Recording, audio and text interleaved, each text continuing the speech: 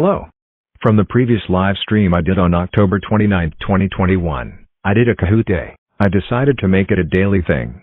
So schedule. Weekends from Friday to Saturday will be streamed at 1:45 p.m. EST. Sundays will be at 1:15 p.m. EST. All weekdays up to Wednesday are at 3:30 p.m. EST because of school. Thursdays are at 3:15 p.m. EST because why the frick not lol. If I don't make it home by 3:15 p.m. I will reschedule it 5 minutes late and if I do not make it by then I'll reschedule it again and so on. So hope this helps.